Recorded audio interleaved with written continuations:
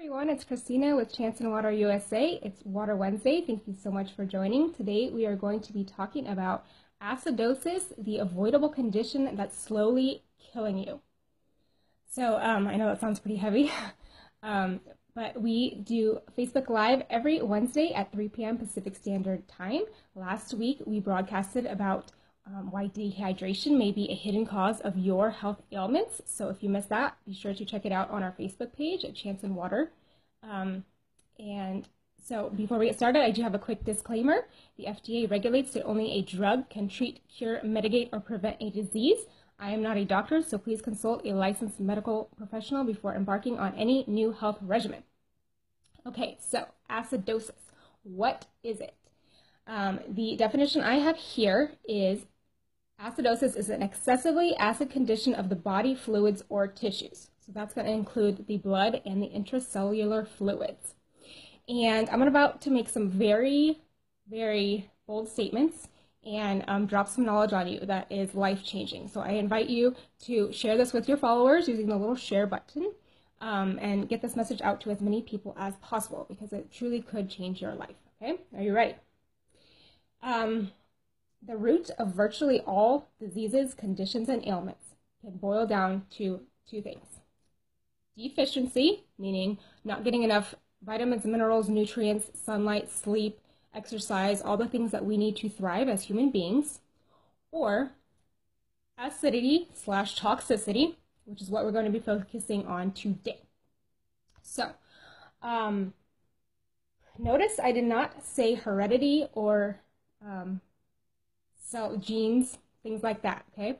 Of course, those do play a factor. Um, however, saying that because I have cancer in my family, I am likely to get it or I will get it is the equivalent of saying because I was born rich, I am going to die rich, okay? Ultimately, yes, um, if I were born rich, I would, I may be more likely to die rich um, than someone who was born into poverty. However, the way that I live my life, the way that I spend my money, make my money, invest my money, save my money, is going to determine whether or not I die rich, right? So it's the same thing with our health and our bodies um, and what we contribute um, to our acidity and what we don't is ultimately what is going to be um, going to cause or prevent any type of disease. So um, the pH scale is very important here. It um, runs from 0 to 14, with 7 being neutral. Anything below a 7 is considered acidic. Anything over a 7 is considered alkaline. And we thrive in a slightly alkaline state.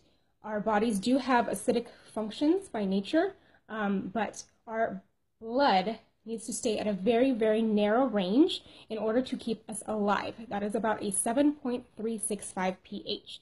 And the cool thing about that is that it is easy to remember because it is seven days a week, 365 days a year. Your body is working extra, extra hard to keep your blood at that very precise, narrow little pH range um, so that you can stay alive. And what happens is we are born with alkaline mineral reserves and as we age and um, have the deficiency and the toxicity and acidity contributing to our to us with our what we're consuming and our environment, uh, things like that, um, our mineral reserves deplete, and if we do not restore them, our body literally has to, um, what's the saying? Steal from Peter, rob Peter to pay Paul. Um, it's going to be taking the, those minerals from our bones, our eyes, our teeth, our muscles, um, in order to buffer the acidity that we are experiencing. So, um, see. There, we go through three stages of life um, as we age. So when we are born, we are born alkaline. And until about age 25, we are considered in an anabolic state, meaning we are growing. Um, our brains actually don't fully develop until age 25, which is crazy to think about. Um, the next stage is 25 to 45, we are in a homeostasis um, state, which is kind of balanced. It's more neutral on the pH scale. And then anything 45 or over, we are in a catabolic stage, which means we are slowly declining. You know, as we do with age, um, we are getting sicker and more acidic. So um, age is actually the only factor um, in over acidity or acidosis that we can't control. Um, but we, I'm going to talk about five things that you can control today um, because we do not want to be overly acidic, and most of us unfortunately are, and that's why we're suffering from all of these different conditions um, that are totally avoidable. So, um, I want you to take charge of your health and create a more disease resistant body. Um, one controllable factor is your diet, and that includes um, the beverages you are drinking. So, anything that we know that is inherently bad for us, such as um, burgers, fries, shakes, sodas, um, those are all going to be um, acidic to the body. And um, one way that Chanson Water can help is that it's very difficult to change your diet. Not everyone can do it. Um, some people aren't willing to do it.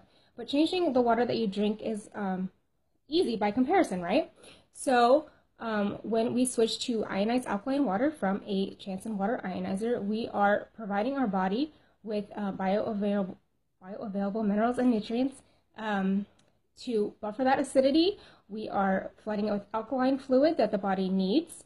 And um, it's great for you overall. So, so controlling your, your diet, eating more alkaline, and switching to ionized alkaline water is one way that you can control um, acidosis and, and lower your risk for that. Um, the second way is stress. So stress has been found to be even more acidifying to the body than eating the worst of foods. So I know that some of us are in situations where we can't walk away and leave it. You know, we may be um, caring for an, an autistic child or a parent with dementia or something like that that is very very stressful and you're stuck you know in that situation uh, that's your responsibility you can't get out of it so there are various stress relieving things that you can do you can try you can research them your, on your own but things like aromatherapy or um, meditation prayer going for walks having time to yourself things like that anything you can do to lower your stress factor is going to have a major, major impact on uh, over acidity in the body. The third thing that um, is more common than you think is parasites. So I know that sounds scary, but um, you may have them and not realize it. Um, and you can research that on your own as well. But um, two ways I know to help eliminate parasites from the body would be a water fast, water detox to kind of flush um, those out of the body. That's another way that uh, ionized alkaline water from a Chanson Water ionizer could help with that.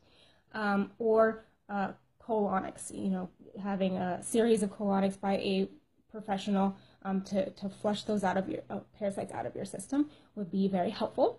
Um, number four controllable factor is drugs. So um, that includes pharmaceutical, recreational, and over the counter. Um, they are all acidic, and um, reducing or eliminating those um, substances from your life can contribute to a less acidic body.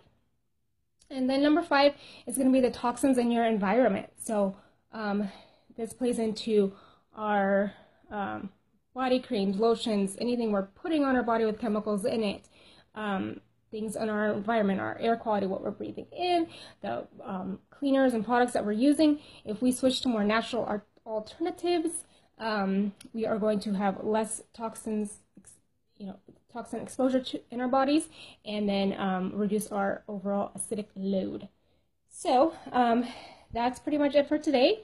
Um, thank you so much for joining. I invite you to uh, visit our website at chansonwater.com to uh, find out more about water ionizers and how they can help you and transform your health. And I will be back next Wednesday, 3 p.m. Pacific Standard Time, right here on our Facebook page. Please be sure to like Chanson Water if you have not already. Thank you so much and have a wonderful day.